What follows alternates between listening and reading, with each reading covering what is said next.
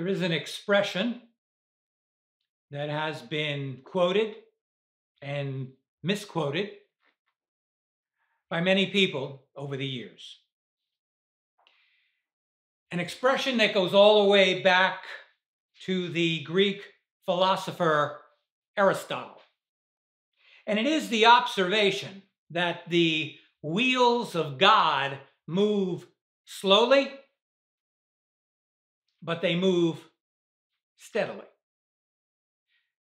And simply stating, everyone and everything in this world is subject to the wheels of time.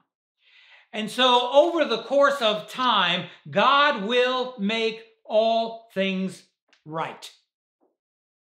And he will punish those who have rejected his offer of salvation through his Son. And he will bring upon them everlasting judgment. So it is foolish to fight against him because we can't outlast God. And as we come to Psalm 47, we have come to a time, to a day, when he has made all things right. The time when the Lord Jesus Christ returns to this earth to rule and to reign forever. A day, a future day that is perhaps not too far away.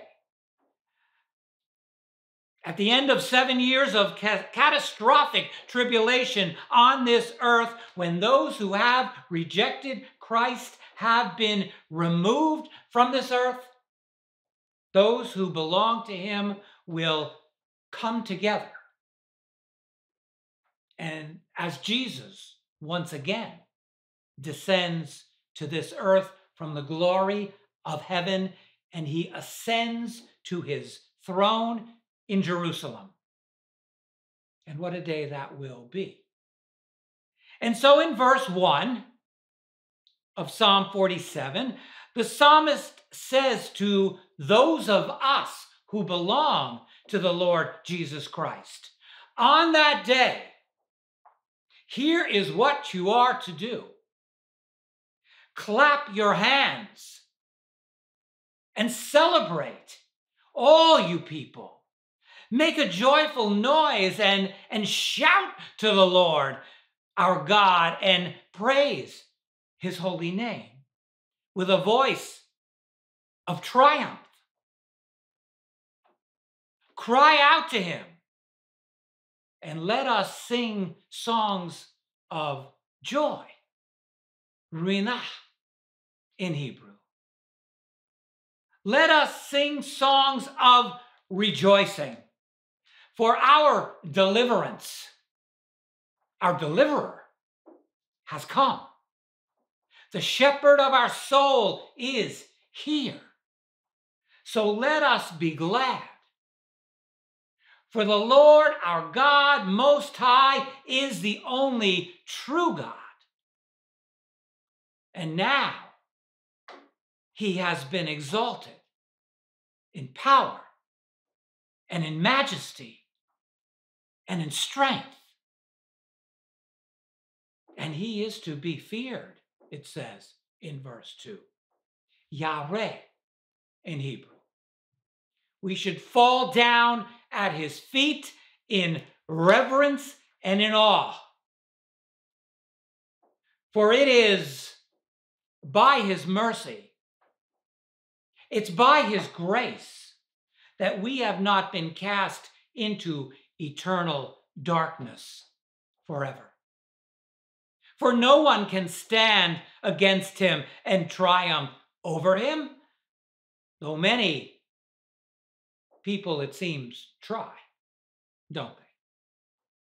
So let us worship the Lord our God, who is our Savior, who is a great King, the King of Kings and Lord of Lords, over all of the earth, over all things.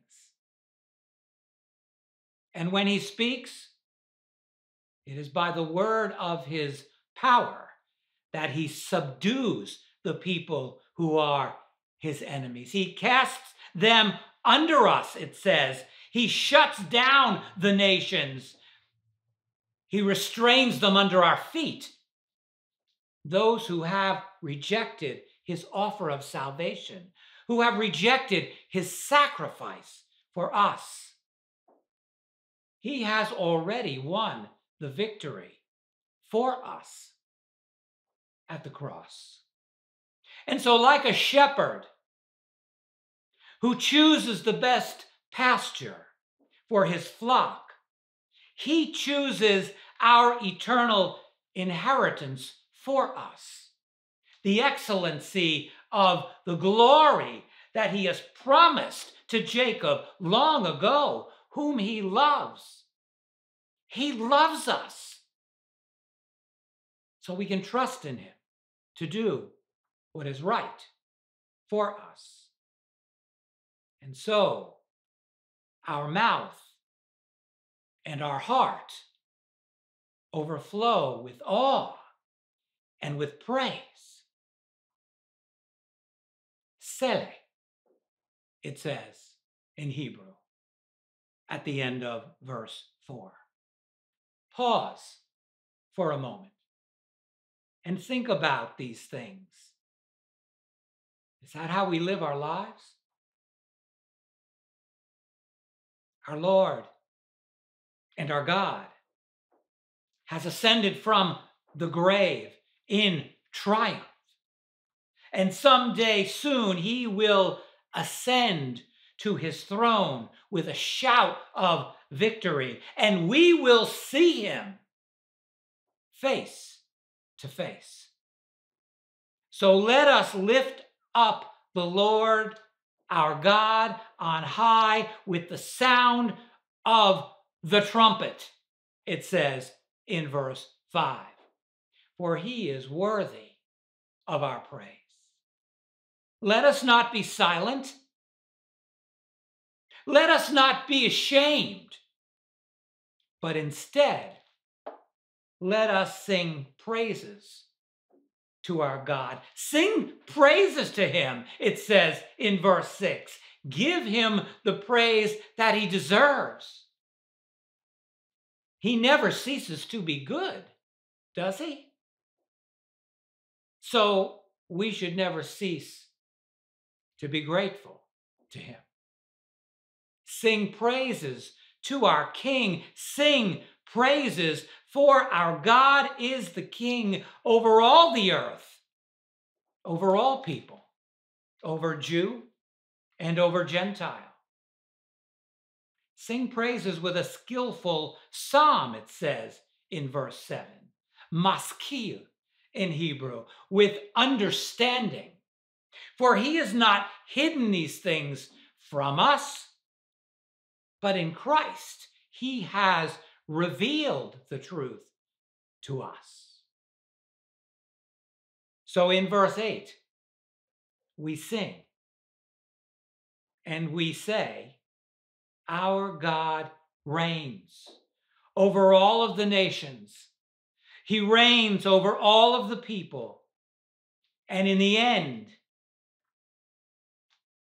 all in the world will submit to him. For our Lord and our God will sit on his holy throne forever. And even the princes, the psalmist adds, the mighty men of the people, who know that they too are just men, they will assemble themselves on that great day and they will bow down before him and celebrate his glory. So we who belong to Christ will all be one in him as the people of God, as the people of the God of Abraham, who by faith believed God and so we too believe. So we are the sons and the daughters of Abraham. Sons and daughters who live by faith, we're told in Galatians 3 7. And as for the leaders of the nations, here's a warning. Here is a warning to them today. They are to be the shields of the earth. They are responsible to protect the people who belong to the Lord God. They are responsible to protect the people in their nations. And so they will be held accountable for that responsibility that they have been given by God. Someday soon, perhaps sooner than later, everything will come to light. There is nothing that is hidden that will not be exposed. And so, in the end of verse 9, the psalmist says, like the light of dawn that shines brighter and brighter, a new day is dawning. And on that day, Jesus Christ will be highly exalted and he will be given a name that is above every name. So don't lose heart. Stand firm. Be strong. Be immovable. Be confident that what we do for Christ, no matter how difficult it may be, has eternal value. And so, as each day passes by, slowly, steadily, we move one day closer to that great day in Christ Jesus, our Lord. Amen. You've been listening to Bruce David Bell, pastor of Berean Bible Fellowship.